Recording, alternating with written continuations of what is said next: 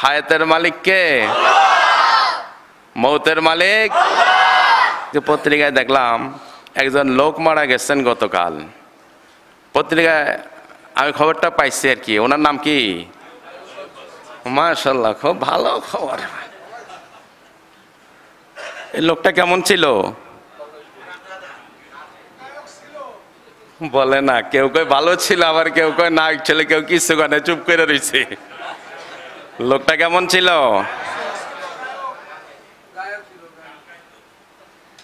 গান গাইতো, ঠিক না? গান গান গাইলে তো ইমান যায় না। এই সাইডের এরা চুপ রয়েছে গান গাইলে ইমান যায়? আল্লাহর হাবিব বলছেন, আমি বলি নাই قال النبي صلى الله عليه وسلم الغنى رقية الزنا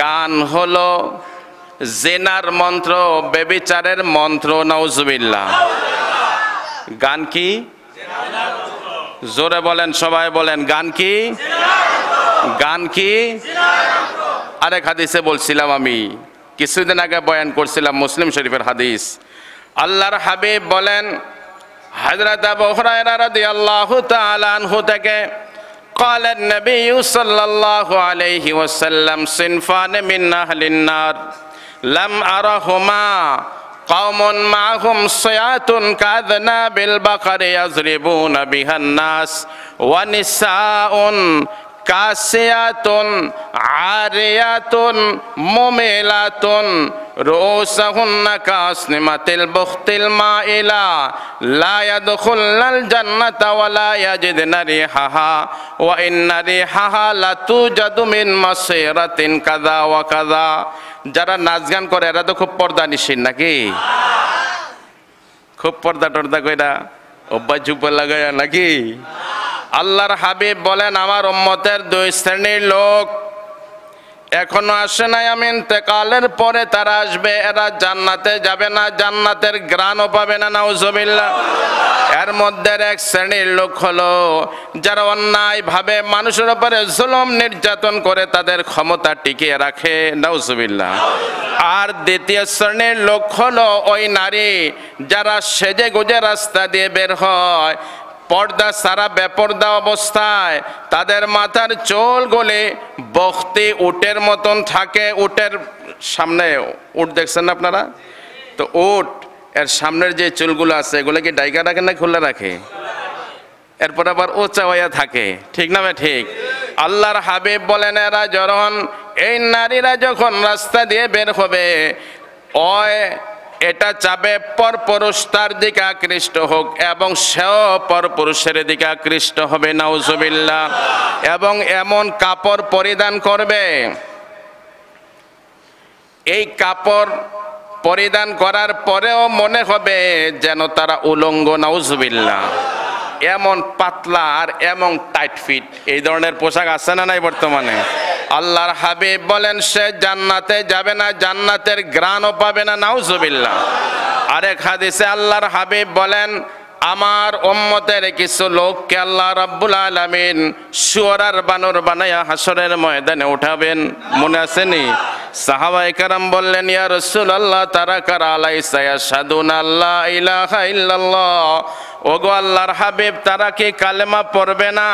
আল্লাহর হাবিব বলেন, হা হা, আমার উম্মত।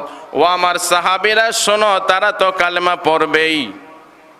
বালা, তারা অবশ্যই কালেমা পড়বে, শুধু তা নয়, ওয়ায়ুসাল্লুনা, মাঝে মাঝে নামাজও পড়বে ওয়া হুজ্জুনা হজ করবে ওয়া সুমুনা রমজান মাসের রোজাও রাখবে। সাহাবাই কারাম বললেন, ইয়া রাসূলুল্লাহ, তারপরেও তাদেরকে আল্লাহ শুয়োর আর বানর কেন বানাবেন? মনে আছে? কেন বানাবেন? দুই একজনে কয়, আর সব চুপ রইস। ইত্তাখাদুল মাআজিফ ওয়াল কায়ানাত।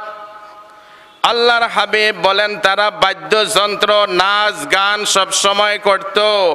এই কারণে কালেমা পড়লেও, যেই কালেমা পড়লে আল্লাহর হাবিব বলেন, একশো বৎসরের কাফের বেইমানও যদি কালেমা পড়ে, আল্লাহ তার জিন্দিগের সমস্ত গোনাগুলি মাফ করে দিবেন। নামাজ পড়লেও, রোজা রাখলেও, হজ করলেও জাকাত দিলেও আমার উম্মতের যে সমস্ত নারী পুরুষেরা বাদ্যযন্ত্রের ভিতরে আকৃষ্ট হবে, বাদ্যযন্ত্র সবসময় শুনবে, নাচ গান শুনবে, আল্লাহর হাবিব বলেন, কাল কিয়ামতের ময়দানে আল্লাহ তাআলা তাদেরকে শুয়োর আর বানর বানায় উঠাবে। আয়ব বাচ্চু যিনি মারা গেলেন, একা একা গান কইতো মানুষের না শোনাইতো আমরা কোনো কিছু বলতাম না। কি বলেন? এখন মৎস্য বোঝো জানাজা দুইটা না, এক, দুই লক্ষ যদি পড়ায় কোনো লাভ হবে না। চুপ করে রয়েছে দুই কোটি সারা পৃথিবীর সমস্ত মানুষ দিয়ে, আলমোলামা দিয়ে, কাবা শরীফের ইমামকে দিয়ে যদি জানাজা পড়াও, আল্লাহর হাবে বলছে লাভ হবে না। লাভ কেন? হায় হায়।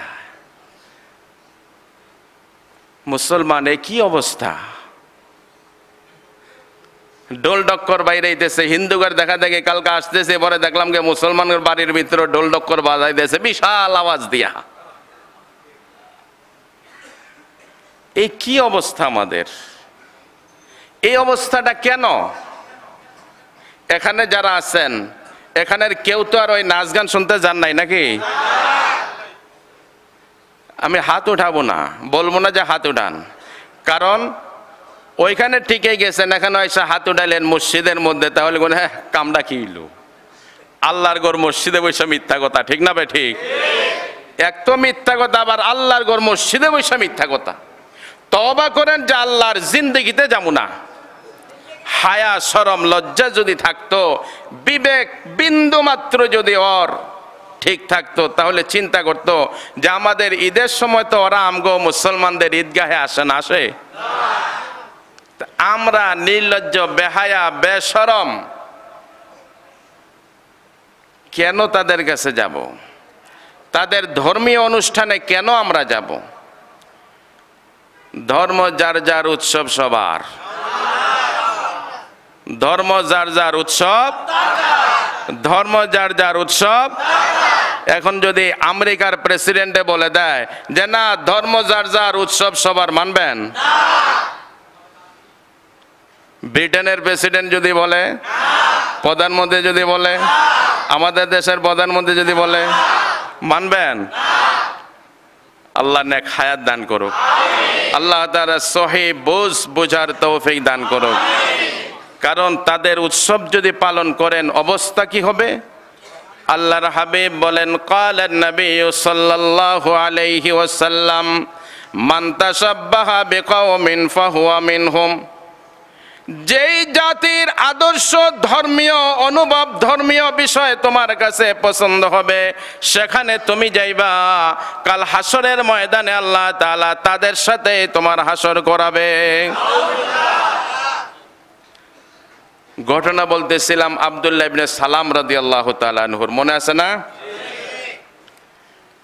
উনি শুনছে, মোহাম্মদুর রসুল্লাহ সাল্লাহ আলি সাল্লাম আসছে। এমন সময় ওনার খালা, সেও ইহুদি ছিল, খালেদা বিনতে হারেস, তারও তৌরত জাবর ইঞ্জিল কিতাব সম্পর্কে ভালো ধারণা ছিল। সে দেখল কি ব্যাপার? খেজুর গাছের উপর থেকে আব্দুল্লাহ সালাম তাকবীর দিতেছে, নারে তাকবীর, আল্লাহ, নারে তাকবীর, আল্লাহ, নারে তাকবীর। অনেকটি মুখের মধ্যে বোবাই ধরছে বোবা শয়তানে, চুপ রয়েছে। নারে তাকবীর নারে তাকবীর। কাল হাসরের ময়দানে আল্লাহ তাআলা যখন দেখবে আপনার অন্তর থেকে, জবান থেকে আল্লাহর নাম আসছে। আমি অবশ্যই এটা বলতে পারি, আমি কসম করেও বলতে পারি, মন থেকে যদি আল্লাহর নাম উচ্চারণ করেন, নিঃসন্দেহ আল্লাহ মাফ করে দেবে ইনশাআল্লাহ।